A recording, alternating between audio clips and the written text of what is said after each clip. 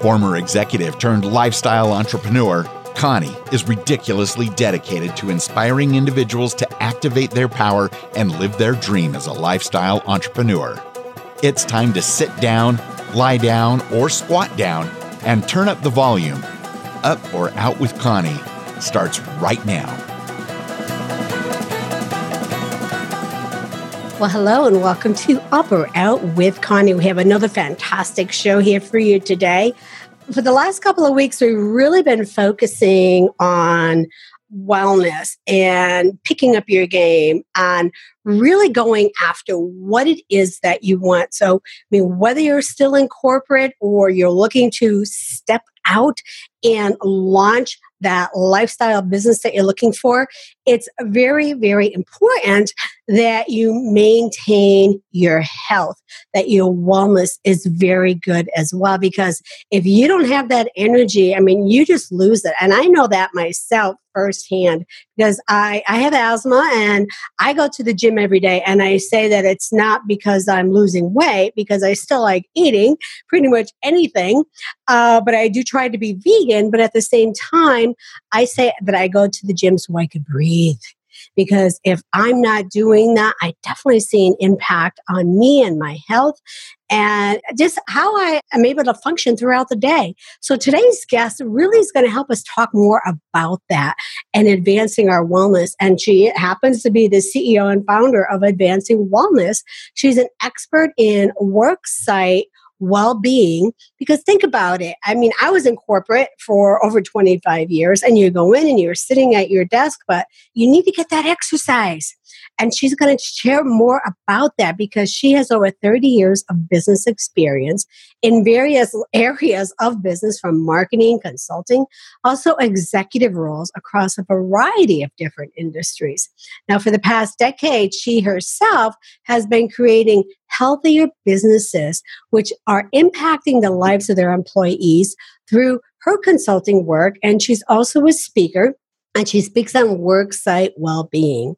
She's earned her bachelor degree from Lesley University, an MBA from Boston University, a master's degree in health promotion from Nebraska Methodist College. And she's also a certified worksite wellness consultant. She's the founder and former board chair of the Worksite Wellness Council of Mass and she's also a member of the board of directors for Health Promotion Advocates and Global Women for Wellbeing. She's an active member in the National Speakers Association and a sister in our National Speakers Association Power Woman. And she's also the author of the Thriving Hive How People Centric Organizations Ignite Engagement and Fuel Results. So, welcome to Up Out with Connie Mari Ryan. Hey, Mari, how are you? I'm great, Connie. Thanks so much for the invite to be here. I'm so excited to spend some time with you today. You have such an extensive background in health and and wellness and, and really how to how to thrive. So for organizations what should they be looking at when they're considering creating some type of organizational culture that's really supporting the well-being of their workforce?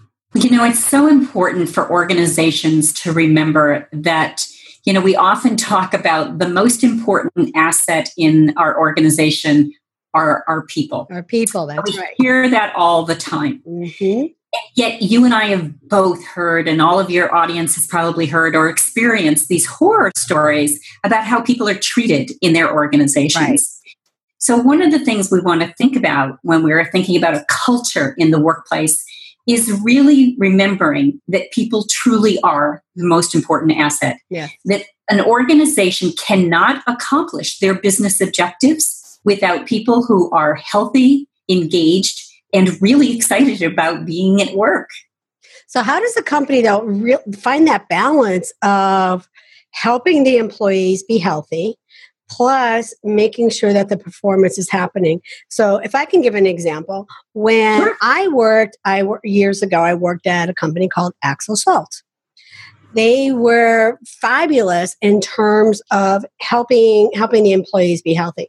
We had a gym on site We had organized volleyball games during the summertime, baseball games, and like they were very, very active with helping the employees. But now shift some years later, we won't say how many years later, but shift some years later, and now you have companies with less employees who are doing more. So there's not that time to say, okay, you know, you need to take that 90 minute lunch break so you can go to the gym and work out. Or, you know, make sure you're, you know, you're meeting up after work to, you know, to do some engagement. And so they were giving, you know, for us, we were getting time off during the day and we had flex hours allowing us to be able to do that. But companies are really struggling with where do they find that balance because they have less employees now.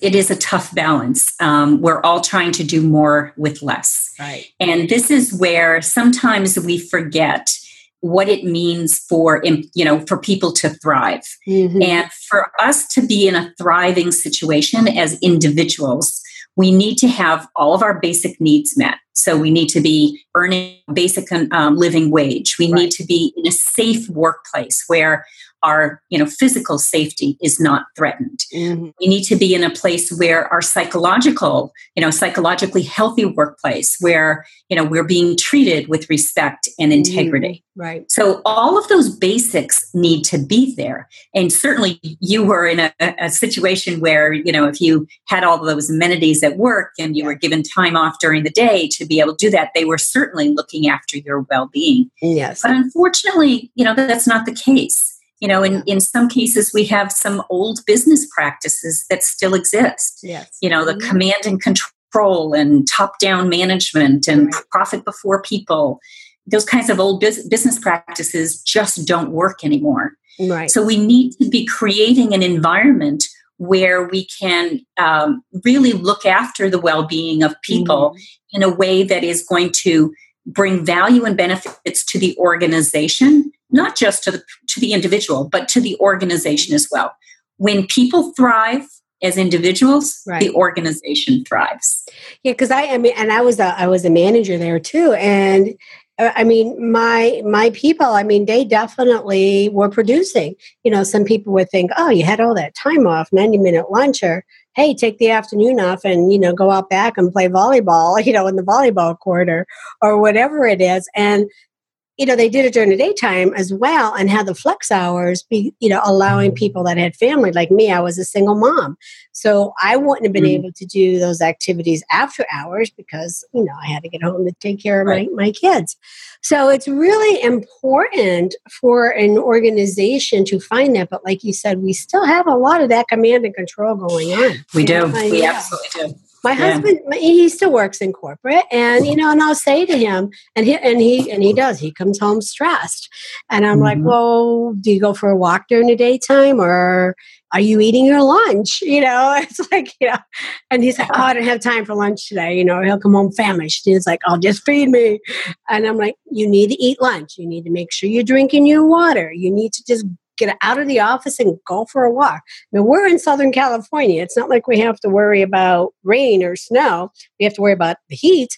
But, you know, get out and walk and just do something during the daytime because, and you, you know more than I do that, re, you know, research has shown just taking a 10 minute walk throughout the day well, it's so interesting when when we're working with our clients, we often start our work with them by doing some data gathering. And one of the kinds of things that we ask about is what do people do on their lunch hour? And how mm-hmm. often do they take breaks? Right. Because this tells us about the culture of the workplace. Mm-hmm. So, for example, with one client, we found that the majority of their workforce ate lunch alone at their desk. So, people weren't taking breaks they right. weren't socializing with their colleagues. Right. They were just, you know, either working through lunch or, you know, whatever they might have been looking at on the internet or right. but the, the point being that they're not interacting in a social way yes. with each other and they're not taking that break. And mm-hmm. sometimes what happens is the culture in the same organization, we also found that the culture was such that employees didn't feel like they could take breaks during the day. And that's not good. People need to stop, step away, even yeah, if it's yeah. just for a few minutes. So you're so right, encouraging your husband to you know, take a break, even if it's just to go and refill your water bottle or but step things like stepping outside and taking a 10 minute break, doing a walking meeting. You know, all of those things can be really beneficial right. to make people more productive. Mm-hmm. And yet, what we see is that people aren't doing it, but the culture is not encouraging it. Mm-hmm. So, what are the values and, and behaviors and the norms that exist in the workplace? Because that's what the culture is all about. And if the culture is heads down, keep working, you know, don't take breaks, people are going to get burnt out and they're they're going to be less productive. Well, you brought up one good thing, and I will say he did change. He doesn't do a walking meeting; he'll do a stand-up meeting. Still good. And That's good. I bet their meetings are shorter now. Yeah, that's what he said. He goes, it's a 10 minute meeting. Yeah. So we're not all sitting yeah. there with their donuts and coffee. He goes, yeah. I just, he said, we're doing a stand up meeting. He does it this time every day.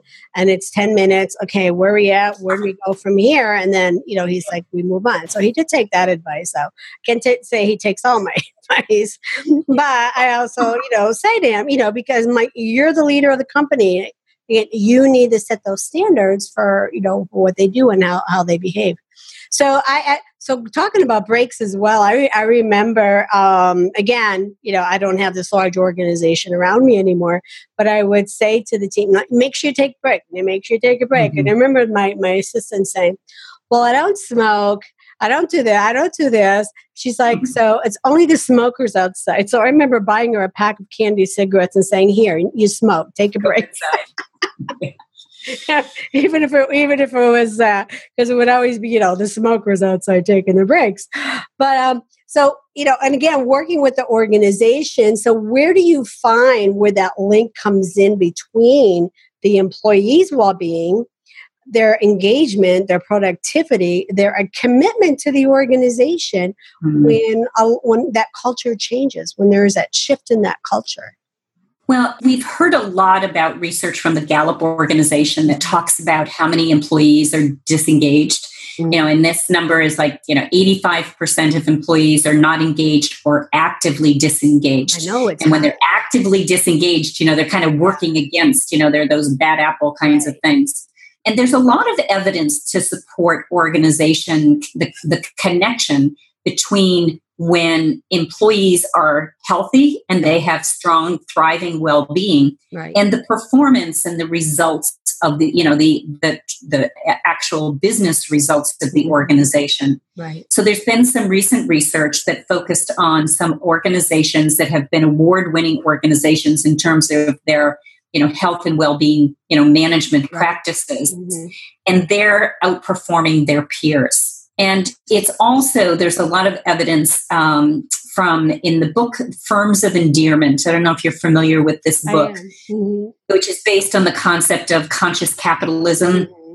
And the idea of how, you know, when we treat all of our stakeholders equally, whether they're employees, customers. Um, investors, suppliers, mm-hmm. when we treat them all equally and we, you know, look after really the well-being of all of those relationships, that whole business approach mm-hmm. actually is one that is demonstrated that caring for your people, for your employees, mm-hmm. providing a meaningful work environment, and supporting, encouraging both their health and their well being actually can be tied to uh, performance. And in the studies that are contained in that particular book, the organizations that excelled at this outperformed the, their peers by a three to one ratio. So this ties to the bottom line. It does. That that really does. I mean, I know. You know, even when I was with with uh, the Chamber of Commerce and we were looking at the economic development, businesses were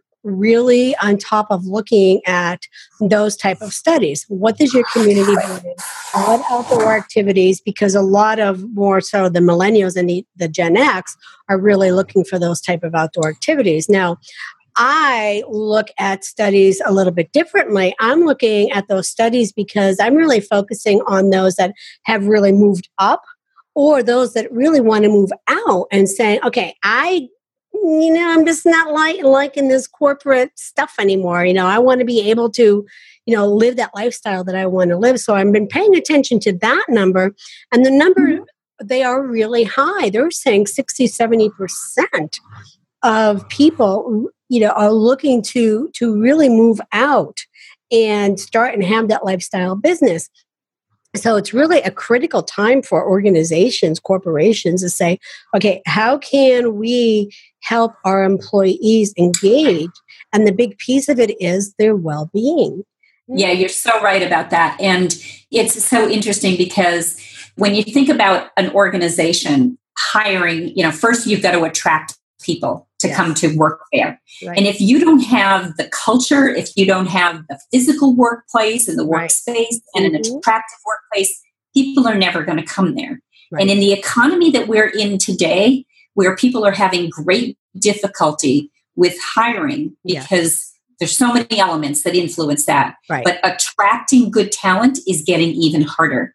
Yes. And then once you get people there, you've got to keep them interested, keep them engaged keep them excited about the purpose mm-hmm. and the mission of that organization so that they don't leave. Yes. because turnover is incredibly costly to organizations it, it, especially it, when you go back to the the trouble you're having hiring people. Right, right. so it's and you know it's, it's exhausting you know it'd be keeping people there. I mean again i know I, have I've run organizations. So so now it's like okay we got to keep them here we got to keep everybody happy. But organizations really need to look at that because people have so many choices now where where they can go. And you know for me seeing that number rising of how many people really want to leave i mean you see you see commercials on tv you know alcohol commercials hey people are taking the shot because they you know they, they want to get out and they want to do it their way. So there's so many things out there. So corporations really do need to get on top of this and you know and really find that place to thrive. I have a couple more questions for you because I know we really get into this, but I want to know more about you, like a little bit of our hot seat. So, Mari, I'd like you to finish this sentence for me. I am a leader because. I am a leader because I believe I am here to inspire others to creatively accomplish whatever they set out to do. Mm, I love that. So you're an entrepreneur yourself, leading your business. So this finish this sentence. I am unstoppable because because I don't give up. and it's a different playing field. Uh, you know, stepping out of corporate again. You know, I I led corporations and when you step out on your own it's a definitely different playing field. And yeah you you cannot you cannot give up. So what's your favorite uh, success quote? You have a favorite quote? I do but i'm going to grab it and okay. i'm going to read it because it is one of my favorites and i keep it right here on my computer. It says dream lofty dreams and as you dream so you shall become your vision is the promise of what you shall one day be. Your ideal is the prophecy of what you shall at last unveil. And that's by James Lane Allen. Beautiful. Isn't that neat? That really, I like that. It really is beautiful. And I keep that right in front of me on my computer because I it's uh, reminding me to dream lofty dreams. Yeah, I love that. I love that. And I have another one that's here. It says, Don't downgrade your dreams to match your reality, upgrade your faith to match your destiny. Oh, that's great. I love both of them. Very, very powerful. Very powerful. So Thanks. I have one more for you. Finish this sentence. Never have I ever. Hmm. Never have I ever want to use sort of similar to what I said before is um, given up on something that I really thought was important to achieve. Okay. So, will you ever be satisfied? oh boy, honey, you know me so well. Come on, Mari, spill it. I'm just one of those people that, you know, I, I set a goal, I go for it, you know, I'm relentless in overachieving, I guess, in some ways, um, which is good. You know, it, it's mm-hmm. kept me focused on a lot of things in life and brought me a lot of success and satisfaction. Mm, good. That is good. That is good. So, what process do you go through to keep what's really important to you and then at times let other things go? Oh, that's a hard one because it's so easy to get distracted and yeah. lose focus. It is, um, which we all we all do every day, right? And I think some of that comes down to personal disciplines, having rituals, you know, having practices that we can do in our daily life. You know, for me, some of that is around exercise, getting the right amount of sleep. I know when I'm, you know, not getting the right amount of sleep mm. that it completely messes up everything.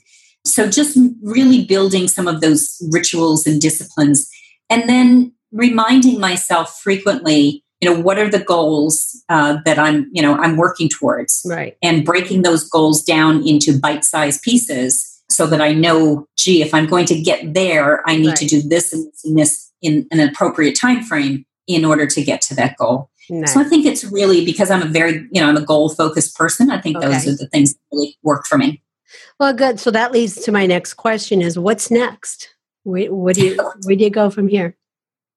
Well, I'm um, finishing up um, my first book is uh, going to be published next month, okay. and I'm very excited about having that done. The name of that book is called The Thriving Hive mm-hmm. How People Centric Organizations Ignite Engagement and Fuel Results.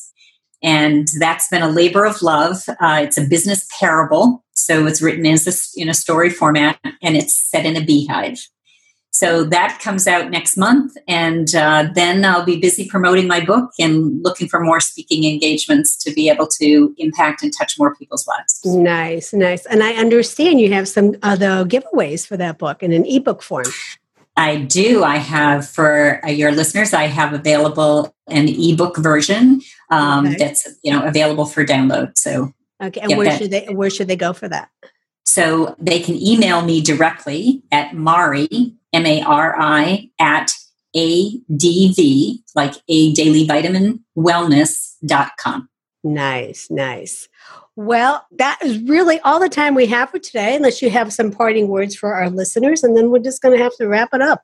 Well, I just want to thank you for this opportunity oh, sure. to spend this time together. It's always great to hear your voice and just, you know, to for people to remember that no matter where we are in our mm-hmm. lives is, you know, treating each other and all of those around us with respect and dignity and integrity and treat people the way you want to be treated um, not just in the workplace, but everywhere. You know, smile and be thankful and grateful for the interactions that we have uh, with each other and not take ourselves quite so seriously. There's way too much news today about terrible things mm-hmm. happening where people just aren't respecting each other. And I think if we can bring some of that back into our lives and into the world, it'll be a much better place. Great, great advice, Mari. I want to thank you for being here, and I'm I'm just proud to have you on my show, and and and really the work that that you are doing for for people just to help them thrive is just really really incredible. Thank you. So for our Up or Out listeners, this is your opportunity to go up and thrive in your niche market, or maybe it's going out and really igniting your engagement and fuel the, those results. You can learn more about Mari Ryan at advwellness.com, and that's where you could also get a copy of her ebook. Make sure you head on over there and grab a copy. You want to make sure you get this. And Mari, good luck on your book and good luck on your, your book tour and your book launch coming up. Thanks, Connie. So, Up or Out is a brand of the Pheiff Group where our mission is helping you find the courage to unlock your inner power, regain control of your life, and insanely grow your business and not just a glorified job. I'm Connie Pheiff, and until next time, activate your power and know that we are all unstoppable together.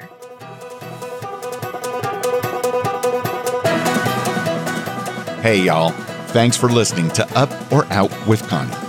If you like what you hear and would like to be a guest, email the team at bookme at uporout.com. Learn how you can activate your power at activatemypower.com. We'll see you over there. Activate your power and be unstoppable together.